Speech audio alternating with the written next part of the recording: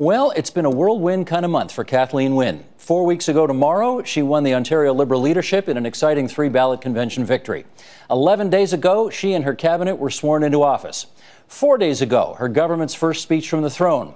Two days ago, her first question period. And soon, her first budget. Lots to discuss, so let's get to it. Here is the 25th Premier of the province of Ontario, Kathleen Wynne. Welcome to TVO. Pleasure. Pleasure to be here. Last time we spoke was just after your convention victory a little bit's happened since then. Indeed. So we, we, do want to get caught up, and we thank you for making this uh, a place for, for, I think, your first sit down interview since you became Premier. It is. Okay. I want to just take you back a week and a half to when you had your hand on the Bible and you were taking your oath of office. 25 people in 145 years have had a chance to do that. So I'm just nerdy enough to want to know what that moment was like. Intense and emotional.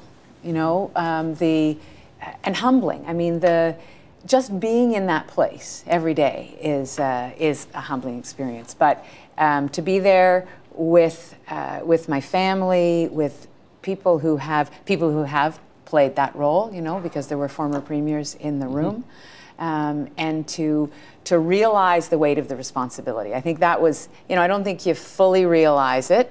I'm I'm getting that as the the days go on, but that was the the moment of okay, this is this is real. This is really going to happen because the convention and the campaign.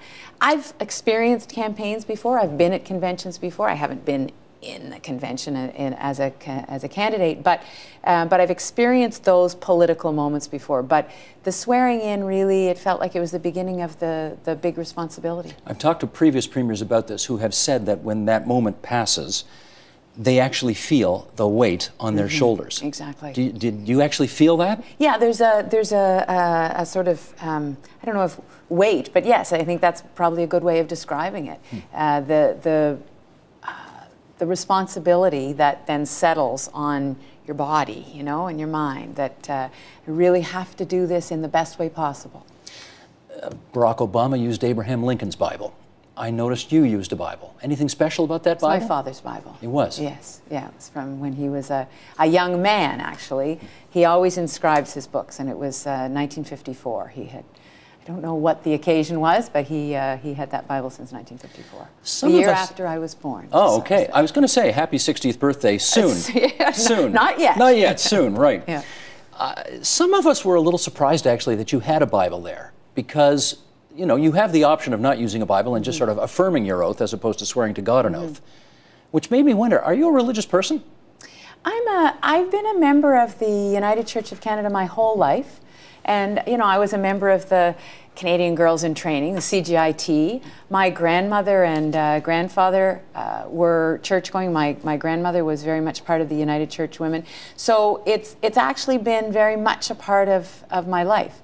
Um, and I, I wouldn't say I'm a religious person. We always talked about, you know, religion's versus spirit. spiritual. Yeah, mm-hmm. yeah. And I, uh, I believe in organized religion as a community cultural reality, you know, and I raised my kids in the United Church so that they would have a choice, basically, so they'd, they'd know where I came from, and uh, it's, it's important to me in that cultural sense. Gotcha. Okay, speech from the throne earlier this week.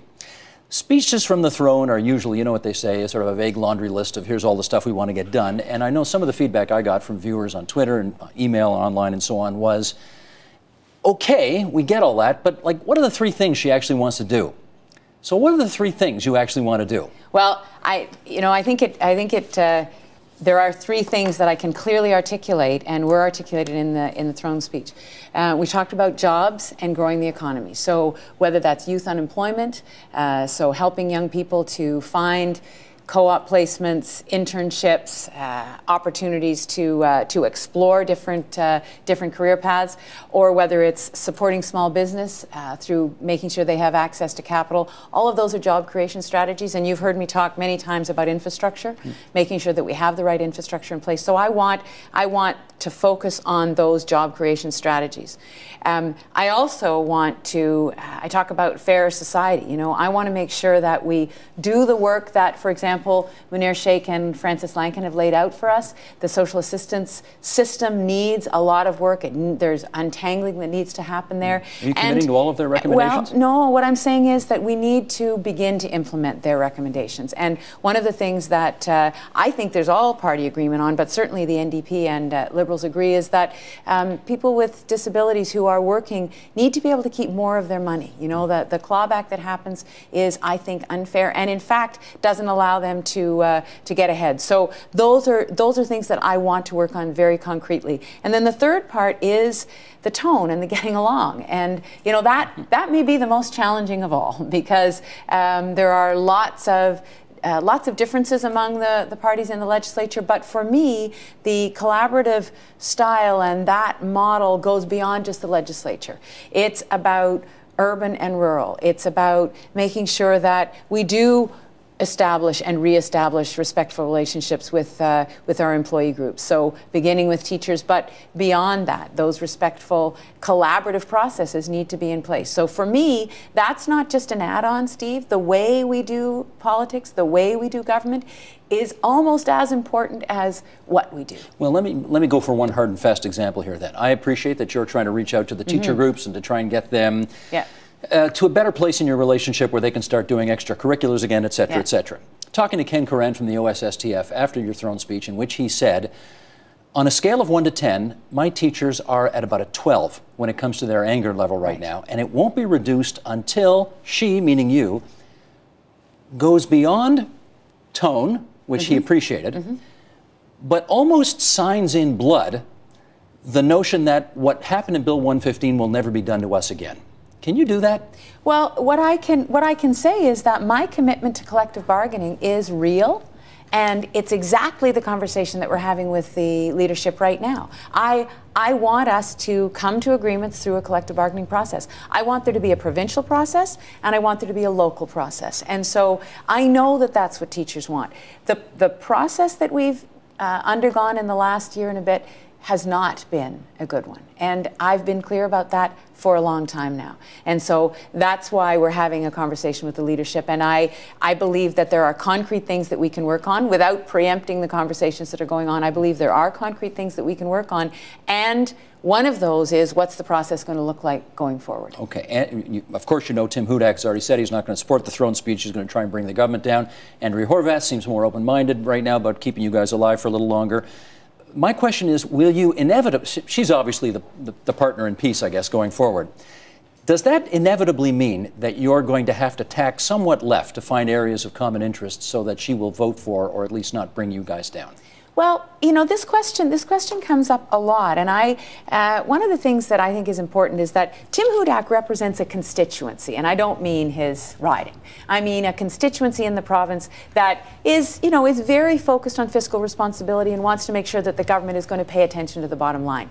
I'm not going to abandon that constituency because Tim Hudak doesn't want to work with me. But you the, won't be as austere as he wants you to well, be. Well, I won't be as austere as he wants him to be anyway. You know, even if he did want to work with me, we would have to find common ground. And I'm not going to I'm not going to acquiesce to everything that Andrea Horwath wants us to do either. But what I am going to try to do, and I will continue to work out to, reach out to Tim Hudak, you know. He said he doesn't want to work on the throne speech with us. Well, fair enough. But I'm still going to include him in a conversation about how do we now get to a budget. If he doesn't want to talk to me, Steve, then that's his prerogative. But I am going to be reaching out to him. But in my conversations with Andrea and with Tim, I hope we'll be able to work on those issues that where we can find uh, a common interest, you know? And I think there are a number of them.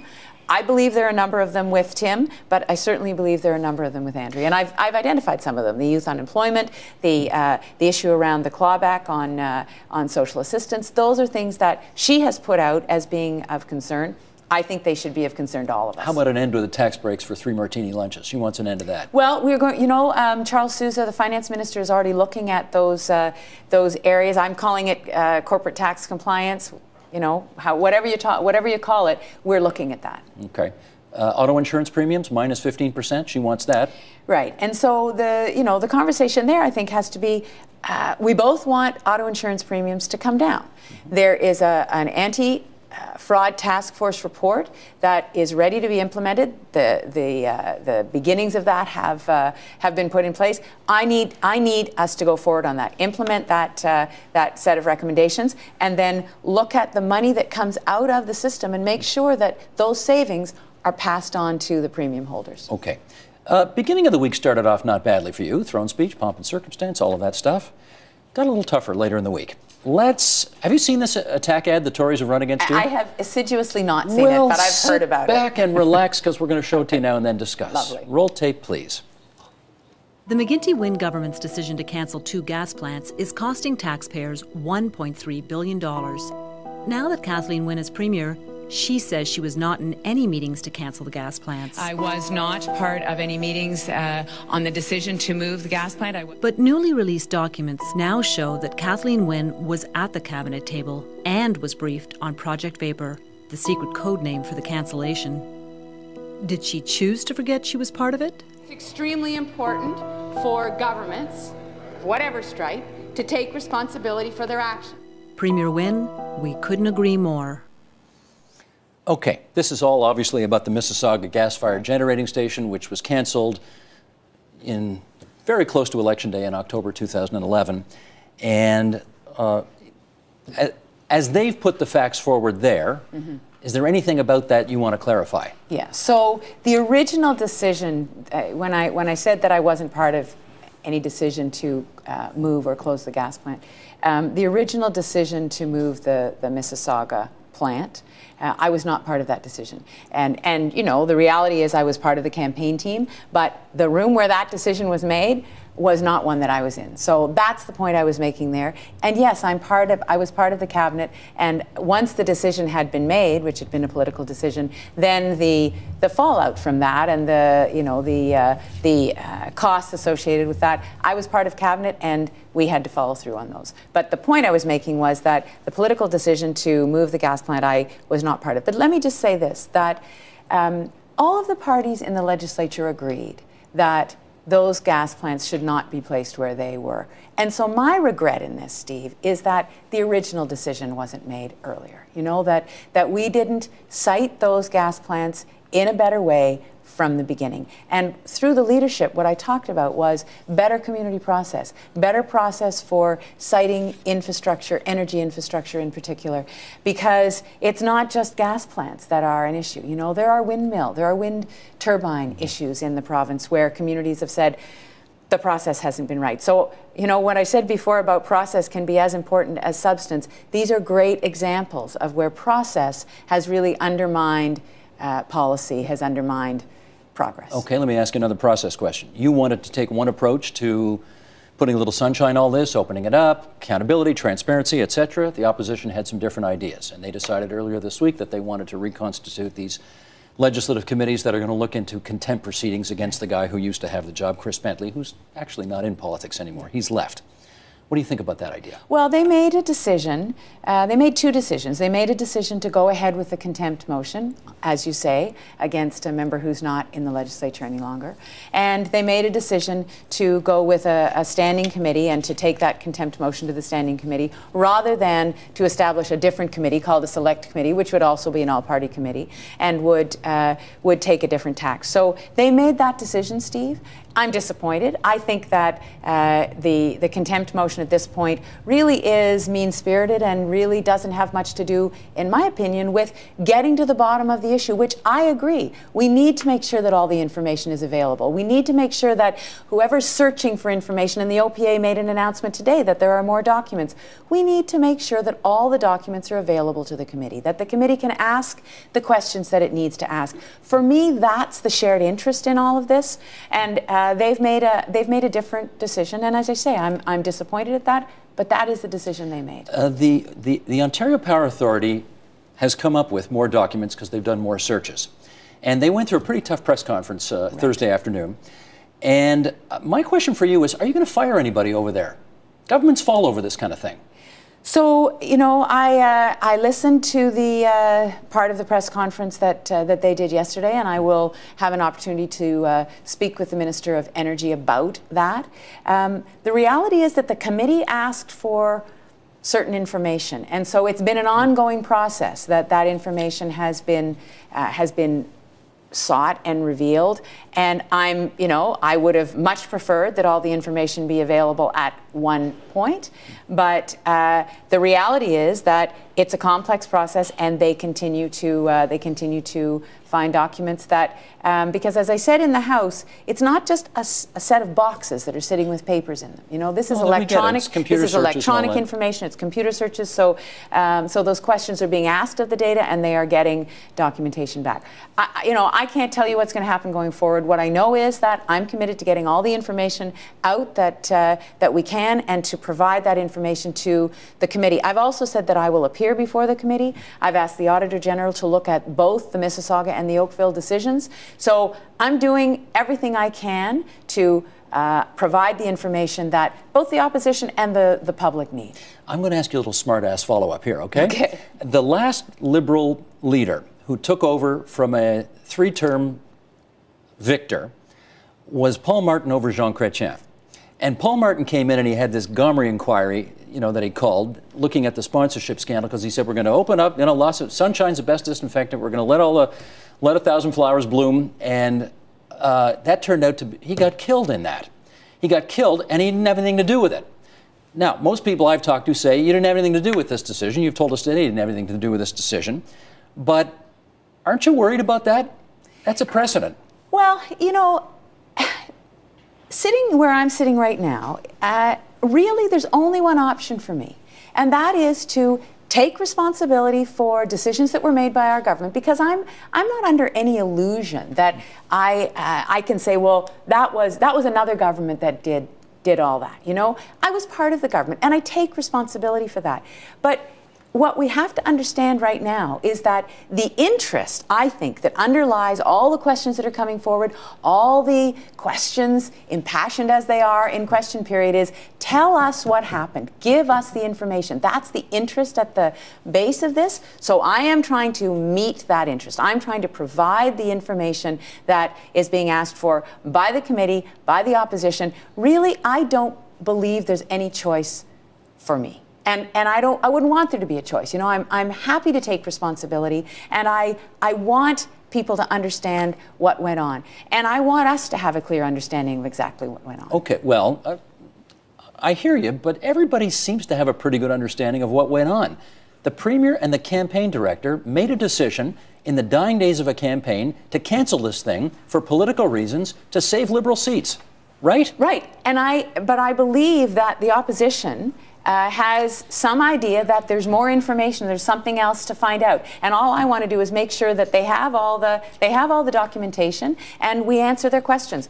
That is my that is my objective. Okay, let's. Um, I want to talk about your cabinet a bit. Mm-hmm. You swore in a new cabinet a week and a half ago, and Charles Sousa is the new finance minister. And I wonder whether, I mean, in, I'm sure it came up at some point in your discussions with your advisors as to whether or not to give him that job. Given that his was one of the seats that was saved, apparently, by the cancellation of this gas plant. And I know he was against it from the get go. He was always against this, uh, mm-hmm. siting that plant there. But he's the finance minister who may have to find more than a billion dollars in the budget in order to pay off these people who you broke the contract with. Any complications in that? I, you know, I, I need people in my cabinet who can do the jobs. And uh, Charles has a Charles has a really good background for being a, a, finance minister, having been in the banking industry, understanding how finances work. He and I agree on a lot, but we don't agree on everything, and that's a really good thing. So I want him I want him sitting beside me as we go into uh, into this budget. And I got to know him better during the leadership campaign, I have to say. And uh, you know, I think that I think we really can work together. He listens. He's thoughtful. He's uh, he's consultative and collaborative. And so those are those are attributes that I think are very necessary in all of our uh, ministers, but particularly in the finance minister right now, because he's got to listen to everybody around the table. Uh, he needs to hear what's going on in their ministries, and he needs to hear what's going on in our communities from all of our caucus so that we can put together a budget that uh, meets the needs of the people of the province. Okay, here's an odd follow up because I want to ask about somebody who's actually not in the cabinet. Right. You know where I'm going here. I want to see if I can get a better understanding or clarification of what happened in the days after you won the convention before you got sworn in with your cabinet as it relates to who came second. Yeah. Did you or any representatives of you talk with Sandra Pupatello or any of her representatives about her potentially coming back into public life, joining the cabinet, running in a by election, that kind of stuff? I had three conversations with Sandra directly, uh, two on the phone and one uh, long one in person. And uh, basically, I said to her, Sandra, what do you want to do? Because I am open to you being part of my uh, government, part of my, uh, my uh, going forward in any way that you want to be, whether it's with the party or whether it's uh, in government, whether it's running in a by election.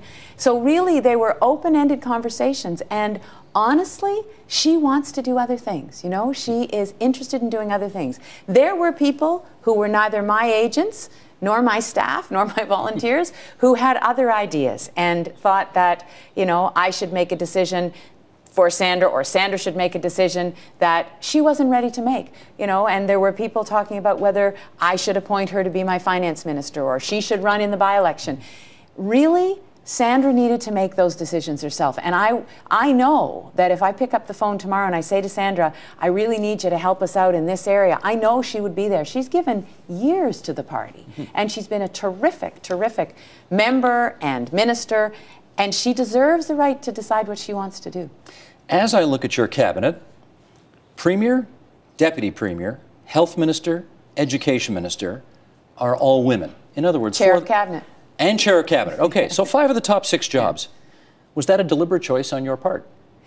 Uh, those choices were made based on who I believe can do the job the best. And, uh, you know, it's interesting.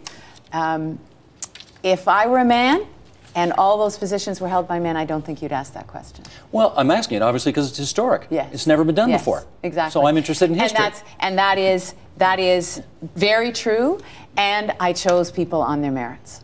And gender had nothing to do with it. I mean, I'm just saying because that's a statement you might want to make. You guys don't win elections unless you bring the, the quote unquote the female vote home, which has been migrating away yeah, in the last little yeah. while. Well, you know, I certainly, I certainly paid attention to gender balance and having uh, having women in cabinet, which Premier McGuinty did too. To be fair, he had a very he had a very uh, strong representation of women in cabinet in important portfolios. Nobody has promoted women like you have. Well, I don't know well, if you meant to, but I'm just saying it. Yeah. Well, you know, I, I, don't think it should be a huge surprise that I believe that there are very strong, capable women, and I want them in. I want them in decision-making roles. I want them to be influential because I want the best people to be influential. So I made decisions in cabinet on merit. And I said, you know, I said during the uh, leadership campaign when people would ask me, is Ontario, is it time for a, a woman to be premier? You know, it's about the merit. And it's time for the person who is qualified and who is going to be able to lead to be premier. Okay. In our remaining moments here, I want to just finally talk about making minority parliament work. Right. This legislature was elected 16 months ago. Do you have a view as to how long it should last? Well, I'm thinking October 2014 would be a good good date. Would How you about like October to see it, 2015? Would you like to see it all the way through to well, the end, if you possible? Know, I'd like to see it through to the end. I would. I think that would be terrific, and I think it would be a testament to uh, the members' abilities to work together. And so I'm. I've got my sights set on the next two years, three years, you know, to uh, to try to make it work and I'm, I'm going to do everything in my power to, uh, to do that, Steve. That's why, that's why the throne speech was crafted the way it was. That's why I spent time meeting with the members of the opposition, listening to people from across the floor, trying to find that common ground, and then putting those, uh, putting those notions in the throne speech. And uh, I'm going to do the same going into the budget. That doesn't mean it's not a liberal government. It doesn't mean it's not a liberal throne speech or a liberal budget. It means that because of, and I think we're in a, in a perfect position occupying that middle ground, we can find common cause with, uh, with both sides of the political spectrum. So, uh, so I, uh, you know, I'm going to do my best to get there. The reason I ask is because, uh, although there's absolutely no constitutional obligation on your part to do so, most new premiers, incoming premiers, who sort of inherit the job from mm-hmm. somebody in their own party, um, have a view that there's a sweet spot uh, I can govern for X number of months, but at some point I kind of need to have a grand consultation mm-hmm. with the public uh, and have my own mandate. And that usually comes before the term is out. So I hear you saying and you, it, and it, may, it, it, may very well. You know, do you know when that sweet spot is? No, I don't. I don't, and that's what I was going to say. You and I know that a week in politics Is a an eternity. Yep. So who knows what's going to happen next week? But I think my mindset has to be that our government is here to govern. We have uh, a lot of issues on our on our plate. You know, I I just did a. Um, uh, conference call with uh, with some of the rural and agricultural stakeholders in in the province yesterday, and you know there was a lot of talk about the needs of rural Ontario and the needs of the agri-food industry. I mean that's just one example, and I raise it because I'm also the agriculture food minister. But it doesn't matter whether you talk about education or infrastructure. Glenn Murray, the minister of transportation, is talking about how we're going to find the right revenue streams to build transit. There are huge issues confronting us. Those are the things that I want us to be talking about. And so I need to set my sights on a time frame that's going to allow us to get some of that work done. And that's not going to happen in three months or four months. I need a longer time than that. That's what I'm going to try to do. If it doesn't work out, then we'll go to the people and we'll get we'll uh, we'll get our mandate from the people. I could imagine, though, a scenario whereby, let's say in six months' time, your poll numbers start looking better, and you just say, let's go to the lieutenant governor and get it done. Is that possible? it, it- anything's possible, but the reality is that if I believe that we are getting work done and we're getting it done in a way that meets the needs of the people, then I'm not going to go into an election because people don't want frivolous elections and they don't care. The people of Ontario don't really care about my political career or the political career of my members. But the people in your party do. Well, and they do. will they will hold it against you for the rest of your life if you don't strike when the iron is hot. Well, I will just have to bear that, won't I? Because if I believe that our government is able to govern and we are doing the work that needs to be done in the province, then I think it's my responsibility to continue governing. Okay, except Ernie Eves said the dumbest mistake he ever made was not going right away because he was never more popular than when he first got the job. Well, you know, eh, that, may, that may be. And I, uh, you know, Ernie and I at some point will have a conversation about that. Okay, last thing. Before you got this job, you may have had some notion, watching Dalton McGuinty do it obviously for nine years, about what it's actually all about. Now that you actually have it, how does your impression of what it was compare with, admittedly, two weeks into it, the reality of doing it? Well, I think I, having been at the having been at the legislature for nine years, having been as an MPP for nine years, I think I had a pretty good idea, of the issues that I was uh, going to be confronting. The you know one of the exciting things about it is that I can bring my own stamp to how we interact and how caucus works and and how we uh, how we. Uh, relate to each other in cabinet. Um, I think that some of the some of the personal constraints I don't think I was aware of. Such you know? as? Such as, well, we were talking about earlier. When I go running in the morning, I have an OPP buddy now to go running with me, and that's not something I had thought about. And the the change in my ability to be spontaneous in my life, to just decide that I'm going to, well, I'm not going to run at six. I'm going to run at 6:30. Well, there's already a preordained time that I have set up. So spontaneity, which I realize now is a, a big part of who I am it's more difficult to, uh, to have that in your life. Now, that may, sm- that may sound like a small thing, but the reality is that um, many times it's those moments when I do my thinking. You know, it's it's those moments when I get a bit of distance on uh, on the work that I'm doing. So I have to figure out how to capture that within a, a more constrained life now. And I think people want their politicians to be able to think. You know, you you want us to be able to have the the kind of brain and soul food that we need to be able to make good decisions. So I have to figure that out now in my life, as I have to figure out the time to see my grandchildren. I had a conversation with Bob Rae a couple of days ago about carving out time for family, and it uh, it just those are the realities that I'm not complaining in any way. It's a huge honor, but those are those are realities that you don't see being uh, being an MPP necessarily or being a member of the public. Can you drive anymore? I can't. You are not allowed to drive. I'm not allowed to drive. Why not? Well, it just uh, it just increases the risk of there being an accident or being an incident, and uh, and the OPP have assessed that risk, and they've decided that it is just better for premiers not to drive. You live in a city. I do. Can you walk to the corner and get a, car- a carton of milk if you want to? if I let the OPP know that I'm going to do that. Oh man, Yeah. so you got a weird life. uh, it's that's a privilege. so you say. Uh, Kathleen Wynne, thanks for uh, the first of what I hope will be many visits to our studio here at TVO, and um, we thank you for making time for us tonight. My pleasure. Thanks. Support Ontario's public television. Donate at tvo.org.